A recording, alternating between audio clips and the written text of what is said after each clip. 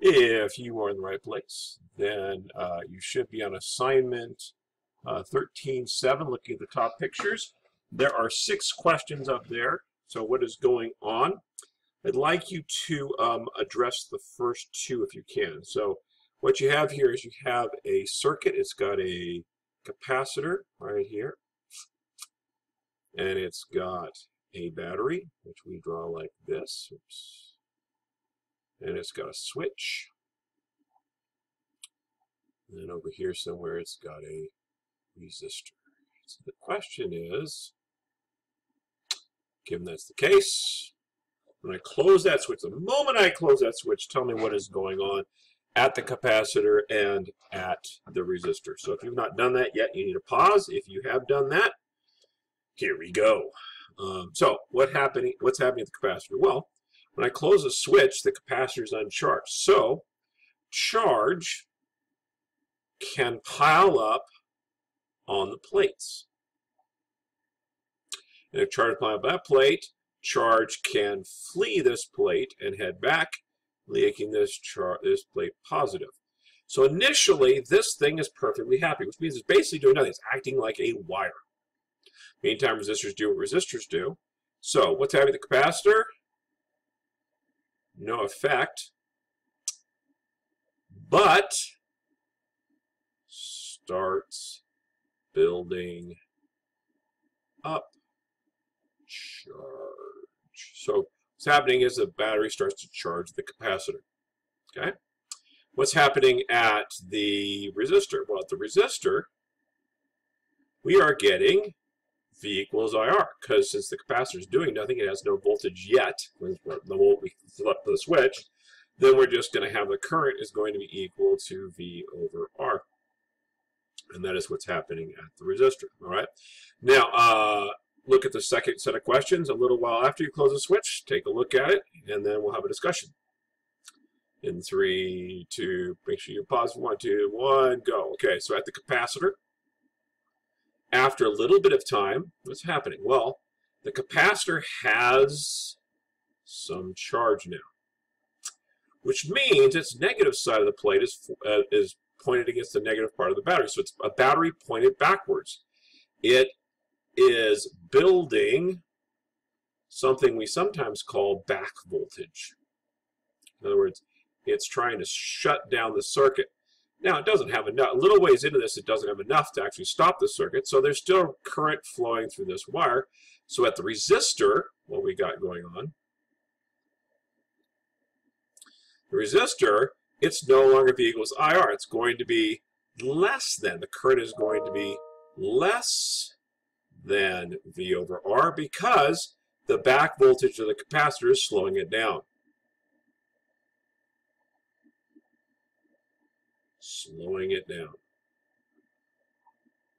All right? Now, what happens if we wait a really, really long time? So if you haven't thought about it, I need you to think about it, and then um, we will uh, resume. So in three, two, one. After a really long time, what happens? Well, the capacitor is going to keep collecting charge until what?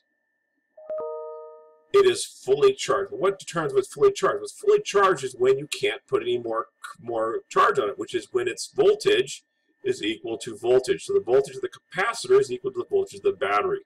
When that happens, it can't put any more current on there. If you can't put any more current on there, you can't put any more charge on there, that means there's no current can flow into there, so what current's going through the resistor? Nothing. Resistor is shut down. Now, I need you to know these things because as we go along, we're going to have to anticipate what's happening in the circuit because it makes our problems much, much, much faster and much more reasonable. Uh, so as we're looking at the circuit, we need to understand that when I first slow that switch down, that capacitor is going to initially do nothing. And then as time wears on, it's going to build up a voltage pointed the other way until it shuts down the, the system. Okay? Um, review this if you have to, but we do really, really, really, really need to understand that. Okay, in a little bit I'm going to start uh, in, five, four, three, two. Oh, sorry, I should say what I'm going to do. Um, I'm going to start uh, with the circuit change with respect to time. Okay, in just a second. Um, so five, four, three, two, one. All right, so part of the ramifications of this is that there's time. Time matters.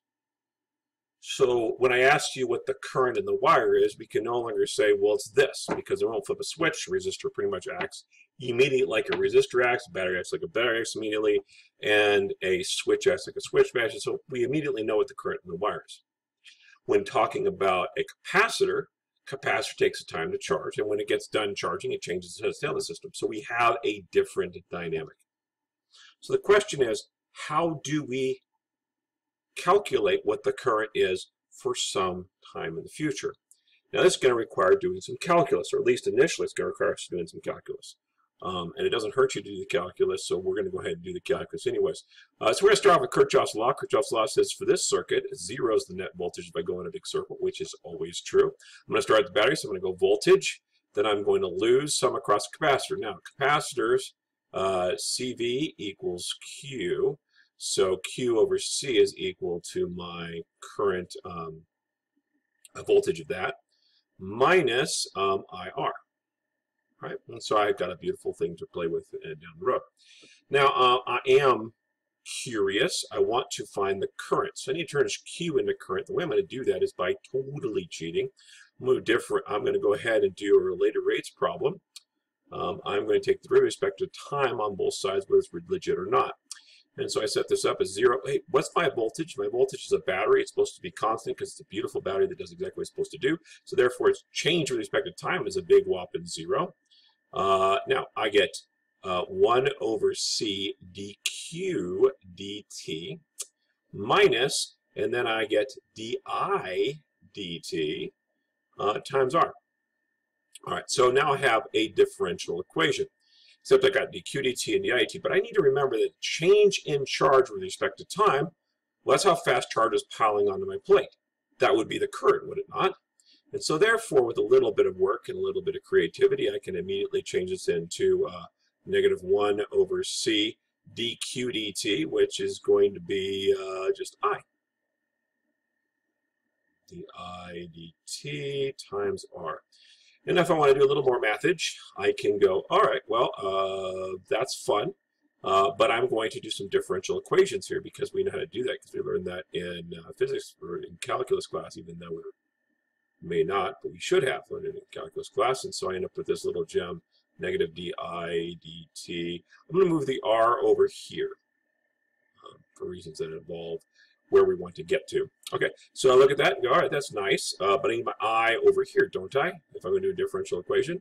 So I don't want my minus sign here because I'm not really sure what a minus sign does here. So I'm going to throw a minus sign to the other side, and I get negative 1 over RC equals 1 over I di dt. Now we've got it set up, our, our variables are separated, so I move my dt over here and I integrate both sides, as we learned for differential equations. So if I do my differential equation over here, get negative 1 over rc t equals ln, absolute value of, of uh, i. Uh, and uh, I'm going to put a plus, my plus c over here like we did in the other class. Uh, since I'm good to go, I'm going to get rid of my ln e by moving my e to the other side. When I do that, I'm going to get e to the negative 1 over rc, rc times t. And remember, my constant up here can get thrown in front. Um, I'm going to, yeah, I'm going to go ahead and make that uh, b for the time being, but we are going to change that in just a little bit. And that's equal to i. And so now I have my current for any time t. Okay? So that's a differential equation. A little bit of fun. We could do that no problem, and it's not a big deal. But we're physicists, so we're going to find a way around having to do this from scratch every time. Uh, but there's one more thing I want to correct. I want to look at this B. What happens when the time equals 0? When time equals 0, this whole thing up here becomes 0, and that whole thing up here becomes 0. This becomes e to 0, which is 1, which means the current is equal to B. Well, what's the current at that very beginning point? Well, the current at the very beginning point is, is V over R, right? We said that in the previous, just look a little bit up. We know at the very beginning point, when time equals zero, the capacitor is doing nothing, so my, my current should be V over R, or my maximum current. So I'm going to go ahead and write the word I max equals times e to the negative 1 over RC times T equals I. All right, so that's calculus for doing a simple situation. Um, that's some situation. This this calculus is serious, um, but it's a way to do uh, uh, what time something's happening. So I know the current at any time t in the future. Isn't that nice? All right. Now, what happens if I do a slightly different circuit? I'm looking for charge. Make my math easier. One of the things I'm going to do right now is I'm going to say we've charged up our capacitor. Uh oh, I have a pen somewhere. There's my pen. Um, I'm going to charge up my capacitor using this situation. Then I'm going to break the link. Then I'm going to put a wire in here. And then I'm going to throw the switch again. All right, so what happens there? Capacitor is fully charged. It's got nothing stopping it from discharging. It wants to go from electrons piled up on this plate. Once those electrons come all the way back around to this side over here. So once I close that switch, they're going to start piling in until ultimately the capacitor is discharged. Meantime, it's going to lead to current. So my question is, what's the charge on the capacitor? The moment I throw the switch, what's my charge on my capacitor? Well, back to Kirchhoff's law. Um, and Kirchhoff's law says the following. It says I got negative IR. In this case, though, what's providing the voltage? Q over C, right? So now I do a little bit of hocus pocus. I go, oh, I want to. I recognize that I is negative dq dt. And so I, I've already got my differential equation ready to go. And so I move my negative q over c to the other side. That nice. And I've got uh, negative q dq dt. Move my r over while I'm thinking about it.